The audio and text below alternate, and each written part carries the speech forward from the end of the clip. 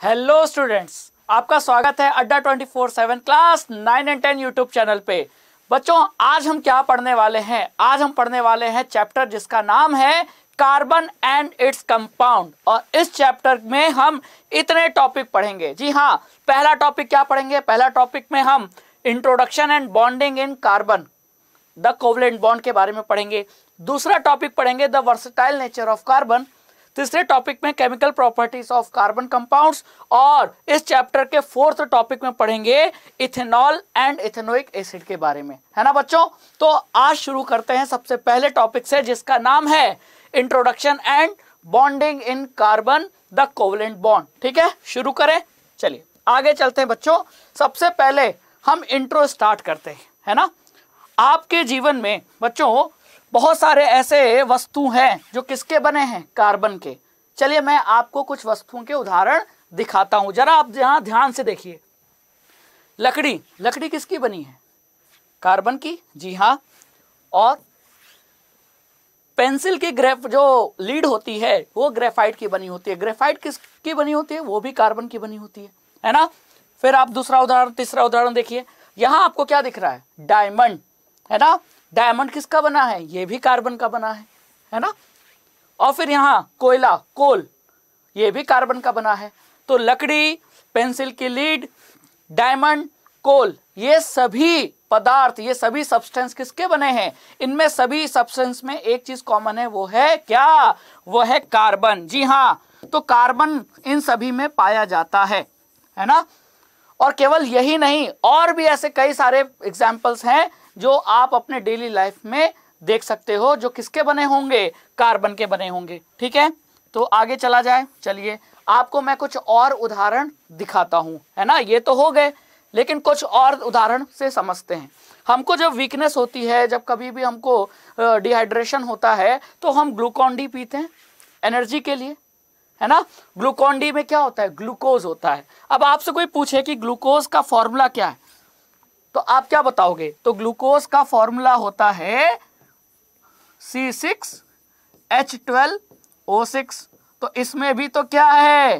Carbon है कि नहीं? और यही कार्बन तो आपको मिलकर हाइड्रोजन और ऑक्सीजन के साथ इस रेशियो में क्या बनाता है? ग्लूकोज। और जब भी हमको डिहाइड्रेशन वीकनेस होती है तो हम ग्लूकोज पानी पीते हैं। अक्सर आपने गर्मी के मौसम में देखा होगा, चक्कर आ रहा है तो तुरंत हमको ग्लूकोज बोला जाता है पीने को, क्योंकि ग्लूकोज से तुरंत इंस्टेंट एनर्जी मिलती है। है कि नहीं? तो ग्लूकोज भी किससे बना है? कार्बन से बना है कि नहीं? जी हाँ और ग्लूकोज एक प्रकार का कार्बोहाइड्रेट है। तो हम जो भी भोजन कर रहे हैं, भोजन में कार्बोहाइड्रेट भी तो मिल रहा है, वो भी कार्बन का बना है। लिपिड यानी फैट वो भी कार्बन का बना है, और प्रोटीन वो भी कार्बन का बना है। और यहाँ तक कि हमारा जेनेटिक मटेरियल डीएनए जो अनुवांशिक जानकारी को अगली पीढ़ी तक नेक्स्ट जनरेशन तक ट्रांसफ़र करता है, वो डीएनए भी किसका बना है? कार्बन का बना है। तो आपने क्या देखा? हमारे जीवन का आधारभूत तत्व, यानी मेन जो एलिमेंट है, जिससे हमारे जीवन का क्या है? एक उत्पत्ति हुई है, या हम कह सकते हैं जीवन बना है, वो मेन एलिमेंट क्या हो सकता है? वो है कार्बन है ना? लकड़ी पेंसिल हीरे और कोयले में तो मिल ही रहा है। यहाँ तक कि हमारे जीवन के लिए जो सब्सटेंस इंपॉर्टेंट है, जैसे कि कार्बोहाइड्रेट फैट प्रोटीन इसमें भी क्या पाया जाता है? मेन एलिमेंट कौन है? कार्बन है। है ना? तो कार्बन के बिना जीवन संभव था, कतई नहीं, कभी भी नहीं संभव है है ना? आप खुद ही देख पा रहे हो, है ना? आप गन्ना चूसते हो, गन्ने का रस पीते हो। गन्ने के रस में क्या है? सुक्रोज है। क्या है? सुक्रोज, वो भी तो कार्बोहाइड्रेट है। उसमें भी तो क्या पाया जाता है? कार्बन पाया जाता है। चीनी खाते हो। उस, वो भी कार्बोहाइड्रेट है, उसमें भी कार्बन पाया जाता है। है कि नहीं? तो इसका मतलब हमारे जीवन में कार्बन का बहुत ही इंपॉर्टेंट महत्व है। इंपॉर्टेंट रोल है। है ना? चलिए तो कार्बन के बारे में और जानने का प्रयास करते हैं। ठीक है बच्चों? चलो, आगे चलते हैं। इसको हटाते हैं और आगे चलते हैं। कार्बन के बारे में कुछ और जानते हैं। कार्बन इतना महत्वपूर्ण है इंपॉर्टेंट तो है हमारे जीवन में, लेकिन कितना पाया जाता है, खुद ही देख लो। बहुत ही कम मात्रा में। तो अर्थ क्रस्ट की बात करें, अब अर्थ क्रस्ट किसको कहेंगे? तो जो हमारा अर्थ है ना, वो कई हिस्सों में, कई पार्ट्स में डिवाइडेड है। तो जो सबसे ऊपरी वाला पार्ट है, सबसे अपर मोस्ट लेयर है, उसी के ही क्या कहते हैं? उसे ही अर्थ क्रस्ट कहते हैं। ठीक है? उसके नीचे आता है मेंटल उसके अंदर आता है कोर है ना? तो हम यहाँ सिर्फ़ किसकी बात करेंगे? अर्थ के सबसे आउटर लेयर की बात करेंगे जिसपे हम लोग चलते हैं जिसपे हम लोग घर बना रहे हैं जिसपे हमारी दुकानें हैं बिल्डिंग है, यही तो है। जंगल है पेड़ पौधे जिसपे हम उगाते हैं, खेती करते हैं, यही सबसे ऊपरी मोस्ट लेयर जिससे कोयला निकालते हैं, जिससे खनिज निकालते हैं, यही अपर मोस्ट लेयर क्रस्ट कहलाती है।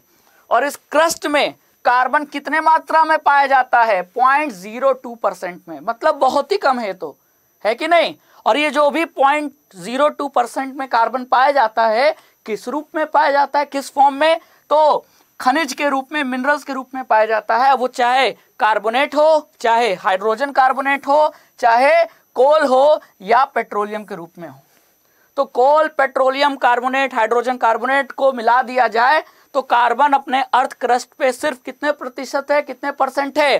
पॉइंट ज़ीरो टू परसेंट तो ये एग्ज़ाम के पॉइंट ऑफ़ व्यू से ये आपको याद रखना ज़रूरी है कि अर्थ क्रस्ट में कार्बन कितने परसेंट पाया जाता है? पॉइंट ज़ीरो टू परसेंट किस फॉर्म में? कार्बोनेट्स के फॉर्म में हाइड्रोजन कार्बोनेट्स के फॉर्म में कोल के फॉर्म में और पेट्रोलियम के फॉर्म में, है ना? और अभी आपको कुछ देर पहले चित्र दिखाया था कोल यानी कोयले में कार्बन होता ही है। है कि नहीं? अब आपको अच्छे से समझ में आ गया होगा। अब आगे बढ़ा जाए। चलिए, अब आगे चलते हैं और कुछ और बातों पे चर्चा करते हैं। ये तो बात हो गई अर्थ क्रस्ट की, है ना? अब हम बात करें अगर किसकी? एटमॉस्फेयर की। किसकी? एटमॉस्फेयर की। तो हमारा जो अर्थ है ना, उसके ऊपर जो एयर है, वो कई लेयर्स में बटा है, डिवाइडेड है। और उन्हीं एयर के लेयर्स को हम हवा की परतों को क्या कहते हैं? एटमॉस्फेयर कहते हैं। क्या कहते हैं? एटमॉस्फेयर। अब इस एटमॉस्फेयर क्या है? एक मिक्सचर ऑफ़ गैसेस है। अल्टीमेटली एटमॉस्फेयर क्या है? मिक्सचर ऑफ़ गैसेस है। और इन गैसों में कार्बन डाइऑक्साइड भी पाई जाती है। है ना? तो कार्बन डाइऑक्साइड का अगर हम एटमॉस्फेयर में परसेंटेज देखें तो सिर्फ़ कितना है? पॉइंट ज़ीरो थ्री परसेंट तो अर्थ क्रस्ट में पॉइंट ज़ीरो टू परसेंट और एटमॉस्फेयर में point zero three percent carbon पाया जाता है। किस रूप में? कार्बन डाइऑक्साइड गैस के रूप में। है कि नहीं? तो इसका मतलब कार्बन का हमारे अर्थ पे और अर्थ के एटमॉस्फेयर पे जो परसेंटेज है, वो बहुत बहुत कम है। है ना? ना के बराबर। लेकिन इतने कम मात्रा में पाए जाने के बावजूद भी हमारे जीवन में कार्बन का महत्व तो बहुत ज़्यादा है। बिना कार्बन के हम अपना जीवन नहीं सोच सकते क्योंकि जीवन चलता है भोजन से और जो भी भोजन हम खा रहे हैं, चाहे वो कार्बोहाइड्रेट हो लिपिड हो या प्रोटीन हो, उसमें क्या मौजूद है? कार्बन मौजूद है। है कि नहीं? और बाकी अन्य पदार्थों में सब्सटेंस में, जैसे लकड़ी हो गया, हीरा हो गया, कोयला हो गया, उसमें तो कार्बन है ही, है ना? तो कार्बन जीवन में बहुत ही इंपॉर्टेंट रोल तो प्ले कर रहा है, लेकिन पाया बहुत कम मात्रा में जाया जाया जाता है है ना? इतनी तो बात क्लियर हो गई आपको। चलो, अब आगे चलते हैं। और बात जानते हैं है ना? बहुत अच्छे से हम लोग पढ़ रहे हैं और इसी तरह पढ़ते रहेंगे। चलिए आगे चलते हैं। अब बात करते हैं कार्बन में। तो कार्बन में जो बॉन्ड होता है अब जा, अब ज़ाहिर सी बात है कार्बन अकेला तो रहेगा नहीं। कार्बन किसी दूसरे एलिमेंट के साथ क्या करेगा? एक संबंध एक एसोसिएशन बना के रहेगा। और जब यह दूसरे तत्व से जुड़ेगा एलिमेंट से तो जो बॉन्ड बनेगा वो बॉन्ड कौन सा बनता है? कोवलेंट बॉन्ड बनता है। तो हम पहले ये देख लेते हैं कि कोवलेंट बॉन्ड बनता कैसे है और कार्बन के जो कंपाउंड्स होते हैं, उनकी खासियत क्या होती है है ना? तो मान लीजिए कार्बन ने किसी दूसरे एलिमेंट के साथ मिलकर क्या बनाया? कंपाउंड बनाया। जैसे कि C H four C H four को हम क्या कहेंगे? आप भी बताइए। सी एच फोर को मीथेन कहेंगे? तो यहाँ कार्बन ने हाइड्रोजन के साथ क्या कर लिया? बॉन्ड बनाया। तो ये कार्बन का क्या बन गया? कंपाउंड। क्योंकि सिर्फ़ कार्बन नहीं है, कार्बन के साथ चार हाइड्रोजन भी जुड़ा है। तो ये अब एलिमेंट नहीं रहा। कार्बन और हाइड्रोजन मिलकर आपस में क्या बना लिए? एक कंपाउंड बना लिए। तो ये कंपाउंड कार्बन कंपाउंड है? है कि नहीं? और ऐसे बहुत सारे कार्बन क्या करता है? कंपाउंड बनाता है। है ना? अब कार्बन कंपाउंड्स की खासियत ये होती है कि पहली बात तो वो पुअर कंडक्टर्स होते हैं। किसके? इलेक्ट्रिसिटी के। जी हाँ क्योंकि इनमें आयंस नहीं होता। क्योंकि ये कोवलेंट कंपाउंड है। आयनिक कंपाउंड तो है नहीं। और आयनिक कंपाउंड नहीं है, इसका मतलब आयंस नहीं है। और अगर आयंस नहीं है तो फिर इलेक्ट्रिसिटी को कौन कैरी करेगा? तो कोई इलेक्ट्रिसिटी को कैरी करने वाला आयंस नहीं है कार्बन के कंपाउंड में। इसीलिए ये क्या होते हैं? पुअर कंडक्टर होते हैं किसके? इलेक्ट्रिसिटी के। और इनके कार्बन के जो कंपाउंड्स होते हैं मॉलिक्यूल होते हैं, उनके बीच में इंटरमोलिकुलर फोर्सेस कम होने के वजह से इनका कार्बन कंपाउंड्स का बॉइलिंग पॉइंट और मेल्टिंग पॉइंट दोनों क्या होता है? लो होता है। तो ये दो प्रॉपर्टीज़ कार्बन कंपाउंड्स की हमको याद होनी चाहिए। याद रहेगी ना? बिल्कुल आपको याद रहेगी। है ना? तो ये दो पॉइंट्स एग्ज़ाम में पूछे जा सकते हैं। अब जरा यहाँ कार्बन के कुछ कंपाउंड्स का एग्ज़ाम्पल दिया है। ठीक है? एसिटिक एसिड इसमें भी कार्बन है। क्लोरोफॉर्म इसमें भी कार्बन है। इथेनॉल जी हाँ अल्कोहल शराब। ठीक है? इसमें भी कार्बन है। मीथेन उसमें भी कार्बन है। तो ये कार्बन के कंपाउंड है। अब जरा इनका मेल्टिंग पॉइंट देखिए। 290, 209 बहुत कम है क्योंकि ये केल्विन में है सेल्सियस में नहीं है। है ना? समझ में आया? सेल्सियस में निकालना होगा तो इसमें से 273 माइनस कर दीजिए। तो जो आएगा वैल्यू वो सेल्सियस में होगा। तो कितना कम है? आप निकाल के खुद ही देख लीजिए। बहुत ही कम है। मेल्टिंग पॉइंट भी कम दिख रहा है बॉइलिंग पॉइंट भी कम दिख रहा है। तो ये बात प्रूव हो गई? हो गई कि नहीं? कि कार्बन के कंपाउंड्स का जो मेल्टिंग और बॉइलिंग पॉइंट होता है, वो क्या होता है? लो होता है। और क्योंकि ये कार्बन के कंपाउंड कोवलेंट बॉन्ड बनाते हैं आयंस इसमें नहीं पाए जाते। इसीलिए ये पुअर कंडक्टर होते हैं किसके? इलेक्ट्रिसिटी के। है ना? तो ये दो प्रॉपर्टीज़ आपको याद रखनी पड़ेगी। एग्ज़ाम में यहाँ से क्वेश्चन बन सकता है। और आई होप कि आपने ये दो पॉइंट्स अच्छे से समझ लिया है। ठीक है? चले आगे। चलो, बढ़ाए गाड़ी, आगे चलिए। तो अब हम ये जानते हैं कि जैसे अभी आपने देखा, कार्बन और हाइड्रोजन जब मिलेंगे, क्यों क्यों मिलेंगे? पहली बात तो ये प्रश्न उठता है क्वेश्चन उठता है। है ना? और मिलेंगे तो किस तरीके से वो बॉन्ड बनाएँगे? ये दो चीज़ों की पे हमको बात करनी है। तो यहाँ क्या लिखा है? कंबाइनिंग कैपेसिटी भाई, कार्बन चार हाइड्रोजन से ही क्यों जुड़ा? हमने मीथेन लिखा ना? तो बात आती है मीथेन की तो हमने मीथेन में सी एच फोर लिखा। है ना? हमने मीथेन में क्या लिखा? सी एच फोर तो क्वेश्चन ये उठता है कि सी एच फोर ही क्यों लिखा? चार हाइड्रोजन ही क्यों लिखे? उसके पीछे कोई लॉजिक है? हाँ लॉजिक है। ठीक है? तो combining capacity of various element depends on the number of valence electron अब ये वैलेंस इलेक्ट्रॉन क्या होते हैं? और कंबाइनिंग कैपेसिटी मतलब तो जैसे कार्बन ने चार हाइड्रोजन के साथ क्या किया? कंबाइन किया, जुड़ा। तो आपके दिमाग में प्रश्न उठना चाहिए कि पाँच क्यों नहीं, सर जी? तीन क्यों नहीं? तो तीन नहीं, पाँच नहीं, चार ही क्यों? यानी कि कार्बन जो एलिमेंट है, उसकी हाइड्रोजन के साथ जो कंबाइन होने की कैपेसिटी है, वो कितनी है? चार। मतलब एक कार्बन चार हाइड्रोजन के साथ कंबाइन हो सकता है। तो ये कंबाइनिंग कैपेसिटी किसी भी एलिमेंट की, कि चार होगी, पाँच होगी, तीन होगी, ये आखिर डिपेंड किस पे करता है? डिपेंड करता है उस एलिमेंट के वैलेंस इलेक्ट्रॉन पे। है ना? अब मैं समझाता हूँ, जरा कार्बन को देखो ध्यान से। तो कार्बन का जो इलेक्ट्रॉनिक कन्फ्यूग्रेशन है, वो कुछ इस तरीके का होता है। इलेक्ट्रॉनिक कन्फ्यूग्रेशन मतलब कि किस तरीके से कार्बन का जो एटम है कार्बन का जो एटम है, ये जो उसका पिक्चर देख रहे हो तो ये तो हो गया न्यूक्लियस है ना? और न्यूक्लियस के बाहर ये जो ऑर्बिट है, शेल, उसमें ये इलेक्ट्रॉन क्या हो रहे हैं? न्यूक्लियस के चारों तरफ़ घूम रहे हैं। तो पहले कक्ष में कितने? दो इलेक्ट्रॉन। और दूसरे कक्ष, यानी दूसरे शेल में, ये पहला शेल, पहले शेल में दो इलेक्ट्रॉन। और इसके बाहर वाला जो शेल है एल शेल, उसमें चार इलेक्ट्रॉन। एक, दो, तीन, चार। तो टोटल इलेक्ट्रॉन कितने हो गए? टोटल इलेक्ट्रॉन हो गए छह टोटल इलेक्ट्रॉन हो गए सिक्स। तो जितने इलेक्ट्रॉन, उतने ही प्रोटॉन। तो टोटल प्रोटॉन की संख्या कितनी हो गई? ये भी हो गई सिक्स।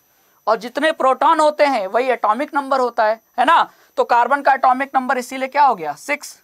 लेकिन जो मैं शुरू में बोल रहा था कि कंबाइनिंग कैपेसिटी किसी भी एलिमेंट की वैलेंस इलेक्ट्रॉन पर निर्भर करता है तो पहले ये पता कर ले कि कार्बन में वैलेंस इलेक्ट्रॉन कितने होते हैं।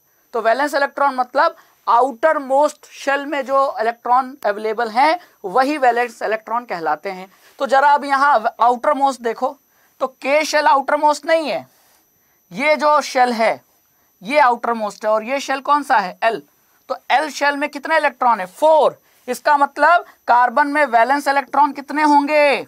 कार्बन में वैलेंस इलेक्ट्रॉन होंगे कितने? फोर तो इसका मतलब कार्बन में वैलेंस इलेक्ट्रॉन फोर है। तो कार्बन की कंबाइनिंग कैपेसिटी कितने हैं? चार हाइड्रोजन से कंबाइन करेगा। यही तो लिखा है कि किसी भी एलिमेंट की कंबाइनिंग कैपेसिटी उसके वैलेंस इलेक्ट्रॉन पे निर्भर करती है डिपेंड करती है। है ना? कार्बन के पास वैलेंस इलेक्ट्रॉन कितने? चार। इसीलिए कार्बन की कंबाइनिंग कैपेसिटी कितनी? चार। इसीलिए कार्बन कितने हाइड्रोजन से जुड़ेगा? चार हाइड्रोजन से अधिक से अधिक जुड़ सकता है। पाँच से नहीं जुड़ सकता। ये बात आपको समझ में आ गई होगी, है ना? क्लियर हुआ? ठीक है? तो इस तरीके से हम कार्बन एटम के बारे में इस डायग्राम से समझ सकते हैं कि कितने इलेक्ट्रॉन हैं, कितने प्रोटॉन हैं वैलेंस इलेक्ट्रॉन कितने हैं, और वैलेंस इलेक्ट्रॉन पता चल गया? तो उससे एलिमेंट की, कौन से एलिमेंट की? कार्बन की कंबाइनिंग कैपेसिटी पता चल गई, है ना? और जब कंबाइनिंग कैपेसिटी पता चल गई तो अच्छे से, शान से लिख सकते हैं सी एच फोर अब आपको ये बात अब तक जो नहीं समझ में आई थी, हो सकता है कि ये चार ही क्यों होते हैं, पाँच क्यों नहीं होते, तीन क्यों नहीं होते, ये अब क्लियर हो गया होगा, है ना? बहुत बढ़िया। चले बच्चों, आगे चले। और एटॉमिक नंबर छह क्यों होता है, ये भी समझ में आ गया, क्योंकि एटॉमिक नंबर डिपेंड करता है नंबर ऑफ़ प्रोटॉन पे। तो नंबर ऑफ़ प्रोटॉन सिक्स है तो एटॉमिक नंबर भी कार्बन का क्या है? सिक्स है। तो ये इलेक्ट्रॉनिक कन्फिग्रेशन समझ में आया, दो और चार, और इसमें से ये जो चार हैं, वो वैलेंस इलेक्ट्रॉन है। चलो आगे चलते हैं, इतना तो हमने सब समझ लिया, है ना? चलो, आगे चलते हैं। इसको मैं हटा देता हूँ। ये रहा गायब, ठीक है? चलो। अब देखो, अब हमको क्या लिखा है यहाँ? We know that the reactivity of elements is explain as their tendency to completely filled outer shell that is to attain noble gas configuration अब जरा पीछे नज़र डालो आप। कार्बन का ये जो आउटर मोस्ट शेल है, ये कंप्लीटली फिल्ड है इलेक्ट्रॉन से। नहीं। कैसे सर? ये बताइए। बताता हूँ। ध्यान से देखो। आउटर मोस्ट जो शेल है ऑर्बिट है, ये कौन सा ऑर्बिट है? ये एल ऑर्बिट है। कौन सा ऑर्बिट है? एल ऑर्बिट है। आउटर मोस्ट में इलेक्ट्रॉन कितने हैं? चार, है ना? लेकिन एल शेल में मैक्सिमम इलेक्ट्रॉन हो कितने सकते हैं? हो सकते हैं आठ। आठ हो सकते हैं कार्बन के केस में कितने हैं? चार हैं। तो तत्व स्टेबल नहीं है। कोई भी तत्व स्टेबल कोई भी एलिमेंट कब स्टेबल बनता है? एलिमेंट स्टेबल तब बनता है जब उसका जो शेल है, वो कंप्लीटली फिल्ड हो जाए किससे? इलेक्ट्रॉन से। क्या कार्बन के केस में एल शेल जो आउटर मोस्ट शेल है, क्या वो कंप्लीटली फिल्ड है? नहीं. क्यों? क्योंकि कंप्लीटली फिल्ड तब होता जब इस शेल में कितने इलेक्ट्रॉन होते? आठ. लेकिन हैं कितने? चार. तो अब कार्बन क्या करे? यही तो प्रॉब्लम है. चलो इस प्रॉब्लम का देखते हैं कि सोल्यूशन क्या है. है ना? प्रॉब्लम आपको पता चल गई. है ना? सोल्यूशन देखना है हमको. चलो. तो देखो, अब कार्बन क्या चाहेगा? कार्बन ये चाहेगा कि मुझे अगर चार इलेक्ट्रॉन मैं कहीं से लेकर भर लूँ उसको, किसको? अपने शेल को इलेक्ट्रॉनों से भर लूँ तो मेरा नोबल गैस कन्फिग्रेशन हो जाएगा और मैं स्टेबल हो जाऊँगा। है ना?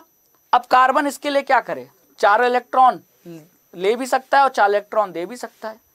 है कि नहीं? क्योंकि अब अगर आप साफ़ साफ़ देखो देखो, अगर ये चार इलेक्ट्रॉन क्या कर दे? डोनेट कर दे दे दे, ले जाओ। तो अब इसके पास कितने रह जाएँगे? दो। और के में कितने होते हैं? दो होते हैं। तो इसका मतलब के कंप्लीटली फिल्ड हो जाएगा। और दूसरा रास्ता क्या है कि चार और इलेक्ट्रॉन ले ले और इसको आठ कर ले तो भी स्टेबल हो जाएगा और नोबल गैस कन्फिग्रेशन अचीव कर लेगा। है ना? तो कार्बन अब स्टेबल होना चाहता है। वो इस कंडीशन में नहीं रहना चाहता। वो चाहता है कि मेरा जो शेल है वो कंप्लीटली फिल्ड हो जाए। अब कंप्लीटली फिल्ड होने के लिए कार्बन क्या करतेगा कार्बन क्या करेगा? कार्बन के पास दो रास्ते हैं। ठीक है? हमको पता है कि it has four electron in outermost shell लेकिन आउटर मोस्ट शेल में चार इलेक्ट्रॉन है, लेकिन नोबल गैस कन्फिग्रेशन प्राप्त करने के लिए अचीव करने के लिए ताकि कार्बन स्टेबल हो जाए, कार्बन क्या करे? तो अब इसके पास दो रास्ते हैं, है ना? आइए वो दो रास्तों की चर्चा करते हैं। ठीक है? क्या वो दो रास्ते हैं? पहला रास्ता। पहला रास्ता है कि ये चार इलेक्ट्रॉन और ले ले। तो एल शेल में कितने इलेक्ट्रॉन हो जाएँ? चार पहले से हैं, चार और इलेक्ट्रॉन ले ले तो कितने हो जाएँगे? आठ। लेकिन इसमें एक दिक्कत है प्रॉब्लम है। प्रॉब्लम क्या है? देखो प्रॉब्लम यह है कि अगर प्रो, चार इलेक्ट्रॉन लेता है तो इलेक्ट्रॉनों की संख्या कितनी हो जाएगी? तो पहले से टोटल इलेक्ट्रॉन कितने हैं? छः चार और इलेक्ट्रॉन ले लेगा तो कितने हो जाएँगे टोटल टेन इलेक्ट्रॉन्स के शेल में दो एल शेल में चार। तो टोटल छह इलेक्ट्रॉन है ना? और इस एल शेल को भरने के लिए चार और ले ले तो उसके पास दस इलेक्ट्रॉन हो जाएँगे। लेकिन प्रोटॉन तो अभी भी कितने हैं? छह। कितने प्रोटॉन हैं? छह? अभी बताया था ना? तो क्या छह प्रोटॉन आठ इलेक्ट्रॉन को बैलेंस कर पाएगा? कत्तई नहीं कर पाएगा, कभी भी नहीं। और न्यू का एटम हमेशा न्यूट्रल होना चाहिए। तो छह प्रोटॉन की वजह से प्लस सिक्स चार्ज लेकिन दस इलेक्ट्रॉन की वजह से माइनस टेन चार्ज है ना? तो प्लस सिक्स माइनस टेन कभी भी बैलेंस नहीं होगा न्यूट्रल नहीं होगा। इसका मतलब कार्बन फोर इलेक्ट्रॉन गेन नहीं कर सकता। दिक्कत है। तो दूसरे रास्ते को देखते हैं। गेन नहीं कर सकता तो क्या लूज कर सकता है? तो अगर हम दूसरी बात करें it could lose four electron forming C four plus ion C four minus gain करके बनेगा ना, देखो। प्लस सिक्स माइनस टेन कितना हुआ? माइनस फोर हुआ। तो अगर चार इलेक्ट्रॉन लेगा तो कार्बन पे माइनस फोर चार्ज आएगा। ये हो नहीं सकता। अब हम देखते हैं क्या गेन कर सकता गेन तो हो गया लूज कर सकता है। तो लूज भी नहीं कर सकता। दो रास्ते, दोनों रास्तों पे जा नहीं सकता। ना ये गेन कर सकता है चार इलेक्ट्रॉन और ना कार्बन चार इलेक्ट्रॉन लूज कर सकता है। But it would be it would require a large amount of energy अब समझ में आया कि ये चार इलेक्ट्रॉन लूज भी नहीं कर सकता। क्यों? क्योंकि न्यूक्लियस पे कौन सा चार्ज है? प्लस और इसके बाहर इलेक्ट्रॉन घूम रहे हैं जिसपे क्या है, माइनस। और हम चाहते हैं कि इसके जो चार इलेक्ट्रॉन एल शेल में घूम रहे हैं, इसको हम क्या कर दें, हटा दें। तो इसके जब हटाने जाएँगे तो न्यूक्लियस इसको अट्रैक्ट कर रहा है ना, अपनी तरफ़ खींच रहा है। तो जब हम इसको हटाएँगे तो ज़्यादा एनर्जी लगेगी। तो इसका मतलब हमारे लिए मुमकिन नहीं है कि हम कार्बन से ये जो इसके बाहर में जो चार आउटर मोस्ट शेल में जो चार इलेक्ट्रॉन है, उसको हम निकाल ले। क्यों? क्योंकि न्यूक्लियस उसको अट्रैक्ट करके पकड़ा हुआ है। है ना? तो इससे कुल मिला के ये समझ में आया, क्या बच्चों, कि ना वो गेन कर सकता है और ना वो चार इलेक्ट्रॉन लूज कर सकता है। है ना? ना फोर इलेक्ट्रॉन गेन कर सकता है, ना लूज कर सकता है। तो ऐसे केस में अब क्या होगा? बताइए। ऐसे केस में एक तीसरा रास्ता, बहुत ही काम का रास्ता निकालता है कौन? कार्बन। क्या निकालता है? कार्बन कहता है कंप्रोमाइज कर लें। क्यों इलेक्ट्रॉन देना? क्यों इलेक्ट्रॉन लेना? शेयर कर लेते हैं। जैसे एक गाड़ी, दो लोगों ने शेयर कर ली, है ना? कभी मैं चलाऊँगा, कभी आप चलाना। बस वही केस है। तो कार्बन क्या करता है? कार्बन ओवरकम दिस प्रॉब्लम कौन सी प्रॉब्लम नोबल गैस कॉन्फ़िगरेशन को अचीव करने के लिए ताकि कार्बन स्टेबल हो जाए, ना वो लूज कर सकता है इलेक्ट्रॉन ना गेन कर सकता है। तो करता क्या है? वो इलेक्ट्रॉन्स की शेयरिंग करता है। तो जो अपने इसके वैलेंस इलेक्ट्रॉन है ना, कार्बन के पास जो वैलेंस इलेक्ट्रॉन है, कितने हैं? आउटर मोशल में चार हैं, वही इसके वैलेंस इलेक्ट्रॉन है। वो ये वैलेंस इलेक्ट्रॉन चार दूसरे एटम के वैलेंस इलेक्ट्रॉन से शेयर करता है। और जब शेयर करता है इलेक्ट्रॉन तो बॉन्ड बनता है। और उसी बॉन्ड को कहते हैं कोवलेंट बॉन्ड तो इसका मतलब कार्बन जब किसी दूसरे एलिमेंट के साथ इलेक्ट्रॉन्स की शेयरिंग करेगा तो क्या बनाएगा? Carbon covalent compound covalent bond बनाएगा? तो ऐसे ही कंपाउंड्स को हम कोवलेंट कंपाउंड्स कह देते हैं। है कि नहीं? तो जरा यहाँ ध्यान से देखो, जरा यहाँ ध्यान से देखो। कार्बन के पास कितने वैलेंस इलेक्ट्रॉन? फोर। हाइड्रोजन के पास कितने वैलेंस इलेक्ट्रॉन? वन। तो हाइड्रोजन, एक इलेक्ट्रॉन अगर इसके पास और आ जाए तो ये क्या हो जाएगा? स्टेबल हो जाएगा क्योंकि के शेल में दो इलेक्ट्रॉन रखे जा सकते हैं। और कार्बन के पास चार और आ जाए, है ना? तो वो कैसे आएँगे? तो वो शेयरिंग से आएँगे। वो गेन नहीं करेगा ना लूज करेगा, वो शेयरिंग से आएगा। कैसे आएगा? देखो, जरा यहाँ देखो। तो यहाँ जो आपको क्रॉस करके दिखाया गया है ना, ये क्रॉस करके जो दिखाया गया है, ये कार्बन का बैलेंस इलेक्ट्रॉन है आउटर मोस्ट शेल में। ठीक है? और यहाँ जो आपको डॉट से दिखाया गया है, ये हाइड्रोजन का वैलेंस इलेक्ट्रॉन है। तो हाइड्रोजन के पास कितने वैलेंस इलेक्ट्रॉन होते हैं? एक। और कार्बन के पास कितने होते हैं? चार। तो हर एक हाइड्रोजन, और कुल टोटल कितने हाइड्रोजन? चार हाइड्रोजन। चारों हाइड्रोजन ने क्या किया? अब एक एक हाइड्रोजन को देखते हैं। तो एक हाइड्रोजन ने क्या किया? अपना एक इलेक्ट्रॉन, और कार्बन अपना एक इलेक्ट्रॉन। ये दोनों क्या कर लिया? शेयर कर लिया। ये बात ध्यान रखना, यहाँ शेयरिंग चल रही है। इलेक्ट्रॉन्स की वैलेंस इलेक्ट्रॉन की शेयरिंग चल रही है। और यहाँ दो इलेक्ट्रॉन बने, एक कार्बन के, एक हाइड्रोजन का। और इस इलेक्ट्रॉन की शेयरिंग से, दो इलेक्ट्रॉन की शेयरिंग से क्या हुआ?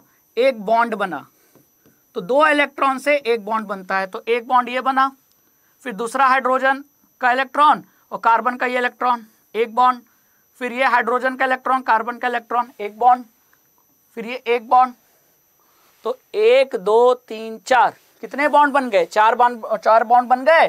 तो मैं इसको अगर ऐसे बनाऊँ तो कोई दिक्कत? कोई दिक्कत नहीं। तो ये क्या बन गया? सी एच और कितने हाइड्रोजन? चार, फोर। अब समझ में आया कि चार ही क्यों कंबाइनिंग कैपेसिटी थी? कार्बन की। क्योंकि कार्बन के पास चार वैलेंस इलेक्ट्रॉन जो कि ये हाइड्रोजन के एक वैलेंस इलेक्ट्रॉन से शेयर कर लेता है। और इलेक्ट्रॉन की शेयरिंग से क्या बनता है? बॉन्ड और यहाँ दो इलेक्ट्रॉन मिलकर एक बॉन्ड बना रहे हैं। और ऐसे इलेक्ट्रॉन की शेयरिंग से जो बॉन्ड बनता है, उसे ही क्या कहते हैं? कोवलेंट बॉन्ड कहते हैं। क्या कहते हैं? कोवलेंट बॉन्ड कहते हैं। तो आपको दिमाग में याद रखना है कि कार्बन दूसरे एलिमेंट के साथ कैसे बॉन्ड बनाता है? कोवलेंट बॉन्ड तो ये जो सी एच फोर यानी मीथेन है। तो ये कार्बन कंपाउंड है। कैसा? आयनिक है कि कोवलेंट कंपाउंड है? कोवलेंट कंपाउंड है। क्यों? क्योंकि कार्बन और हाइड्रोजन के बीच इलेक्ट्रॉन की शेयरिंग से कोवलेंट बॉन्ड बना। इसीलिए इस टाइप के कार्बन के कंपाउंड्स को हम कोवलेंट कंपाउंड कहेंगे। और कोवलेंट कंपाउंड वीक होते हैं, ठीक है? कोवलेंट बॉन्ड, आयनिक बॉन्ड से वीक होता है। इसीलिए क्या होता है? ये कोवलेंट कंपाउंड कार्बन के मेल्टिंग पॉइंट और बॉइलिंग पॉइंट इनका लो होता है, जो मैंने आपको इसके कुछ समय पहले बताया था। है ना? और इसमें आयंस तो है नहीं। तो इसीलिए ये कार्बन के कोलेंट कंपाउंड्स पुअर कंडक्टर होते हैं किसके? इलेक्ट्रिसिटी के। अब समझ में आ गया। और ऐसे डायग्राम को हम इलेक्ट्रॉन डॉट स्ट्रक्चर कहेंगे। ठीक है? तो एग्ज़ाम में इलेक्ट्रॉन डॉट स्ट्रक्चर बनाने को पूछा जा सकता है। तो आप बना लोगे ना कोई दिक्कत तो नहीं आएगी। आपको क्या करना है? अगर आपसे मीथेन का पूछे तो मीथेन का इलेक्ट्रॉन डॉट स्ट्रक्चर ऐसे बनेगा, जिसमें आपको क्या करना है? कार्बन लिखना है।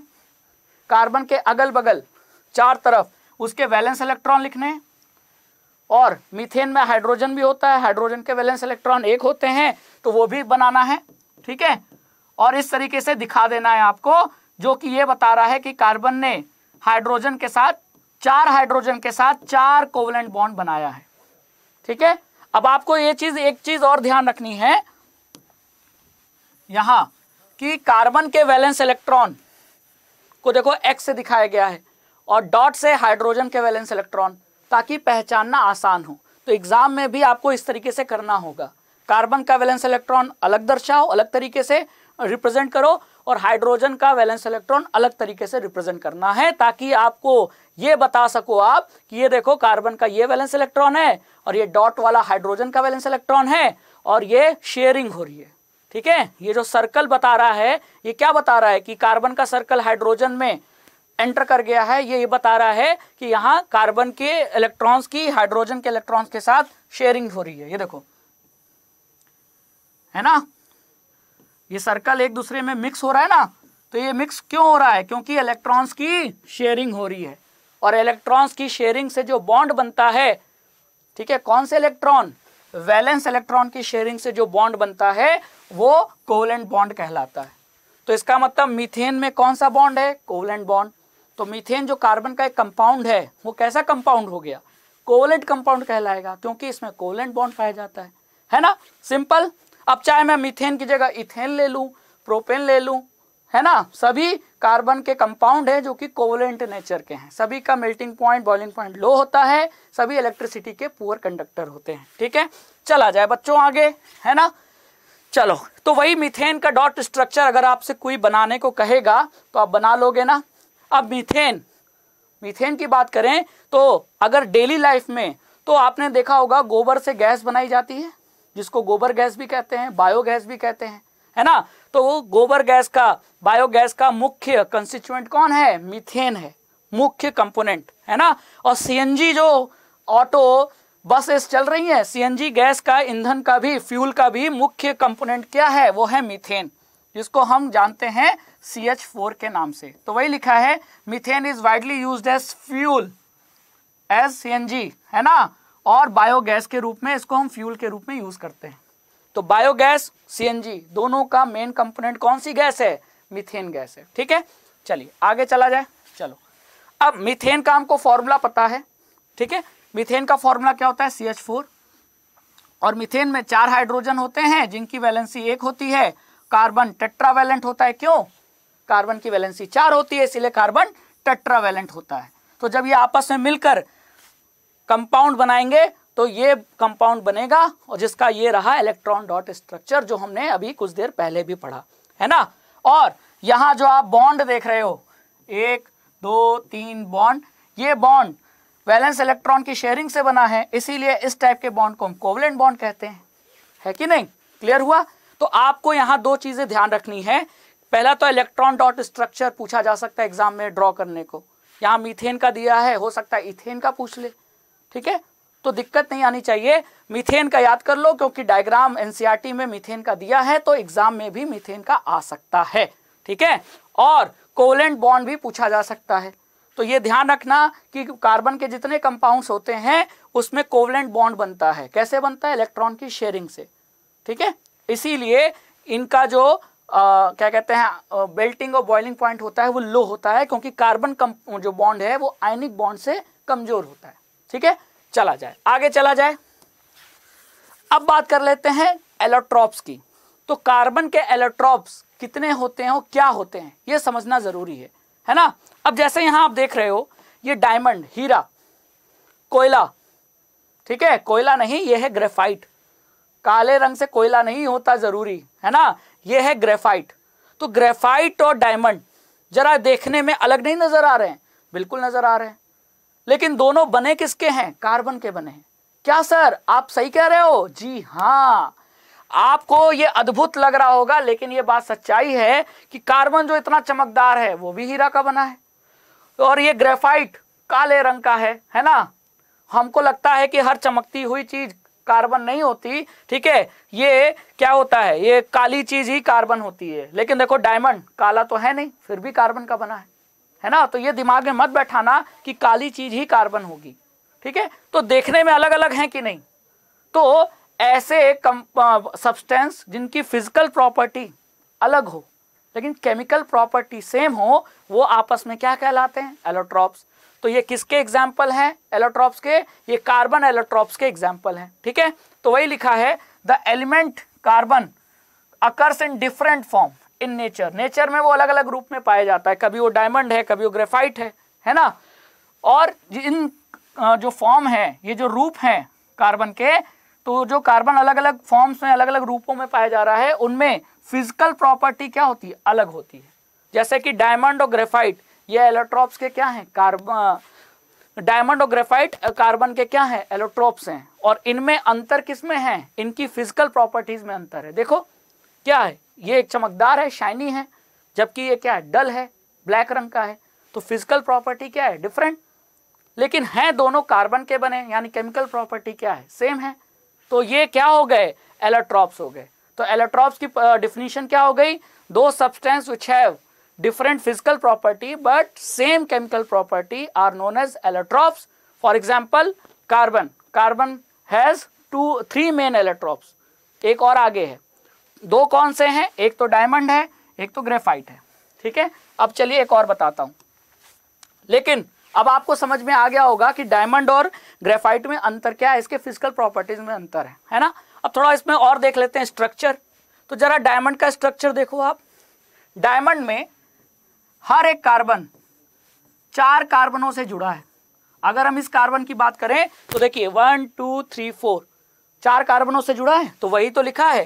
Each carbon atom is bonded to four other carbon atoms forming a three dimensional rigid structure और रिजिड होने के वजह से नेचर में सबसे हार्डेस्ट चीज़ अगर कोई पाई जाती है तो वो है डायमंड लेकिन बनी कार्बन से है।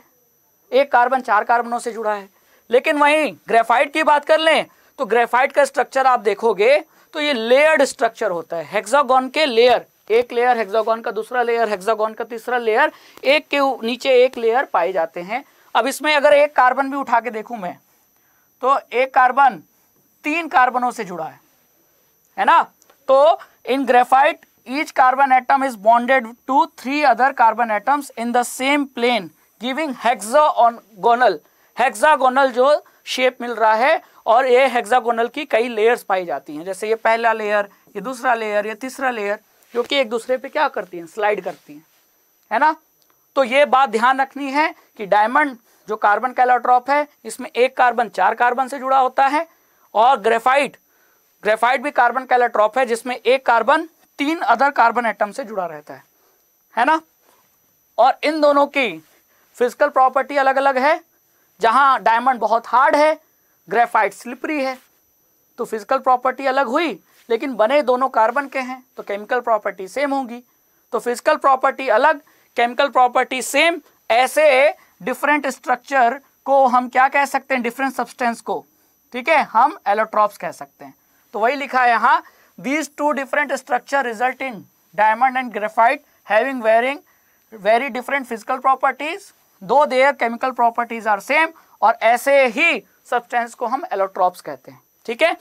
अब diamond is the hardest substance known while graphite is smooth and slippery अभी बताया। है ना? Physical property different graphite is also very good conductor of electricity unlike other non metals मतलब नॉन मेटल्स इलेक्ट्रिसिटी के poor conductor होते हैं।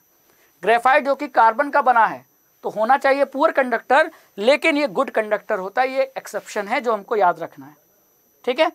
अब graphite के अलावा जो डायमंड आपने देखा एग्ज़ाम्पल में डायमंड तो वैसे नेचुरल सब्सटेंस है धरती पे पाए जाने वाला नेचुरल सब्सटेंस जो सबसे हार्ड है, वो डायमंड है। लेकिन हम आर्टिफिशियल डायमंड भी बना सकते हैं। कैसे बना सकते हैं? अगर कार्बन को वेरी हाई प्रेशर और टेम्परेचर पर रखा जाए तो वो धीरे धीरे डायमंड में बदल जाएगा। लेकिन ऐसे डायमंड प्योर डायमंड नहीं होंगे। ये आर्टिफिशियल डायमंड कहलाते हैं। ठीक है? तो एलोट्रॉप्स क्या होते हैं? उनकी डिफिनीशन क्लियर हो गई।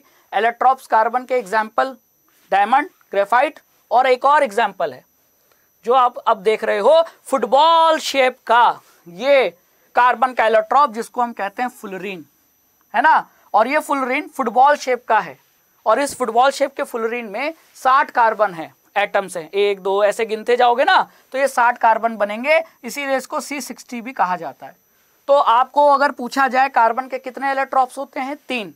Diamond, graphite and third one is fullerene जिसको हम सी सिक्सटी भी कहते हैं, क्योंकि फुलरीन का जो शेप होता है, वो फुटबॉल शेप का होता है, जिसमें 60 कार्बन के एटम्स होते हैं, इसीलिए इसका नाम क्या पड़ गया? सी सिक्सटी क्लियर है?